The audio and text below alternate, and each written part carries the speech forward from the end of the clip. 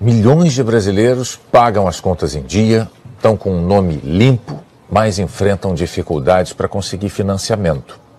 A Elaine Basti conta por quê. Comprar carro à vista é para poucos, e não é o caso da Clarisney. A família precisava trocar o antigo, procurou financiar um usado e foi em várias agências de carros. Ele só falava assim, escolhe baixo, escolhe baixo, escolhe baixo. Eu não sabia o que era. Eu falei, será que meu nome tá sujo, né? Daí, quando eu fui na última. Não sei nem como começar. Virgínia Fonseca faz desabafo, expõe dificuldade e João Guilherme se envolve. A artista é sincera ao falar sobre grande acontecimento. Em 2016, Virgínia Fonseca iniciou sua carreira como influenciadora digital, desde então, ela tornou-se uma das maiores do ramo.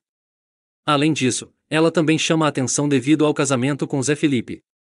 Na última segunda-feira, 23, a blogueira fez um grande desabafo ao expor uma dificuldade e até seu cunhado, João Guilherme, se envolveu. Em suma, a artista celebrou os 42 milhões de seguidores em seu Instagram e falou sobre a dificuldade ao longo dos anos para chegar onde está. Nas redes sociais, Virgínia Fonseca compartilhou uma imagem na piscina enquanto segurava os balões 42M. Não sei nem como começar, quando me perguntam se eu imaginava chegar aqui, eu sempre digo que isso é muito mais do que eu imaginava. Começou a blogueira ao expor que sua trajetória não foi fácil.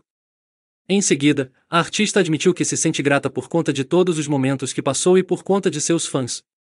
E não são apenas números, são vidas, são pessoas que de alguma maneira se identificam comigo e gostam de mim, disse a famosa. João Guilherme manda recado.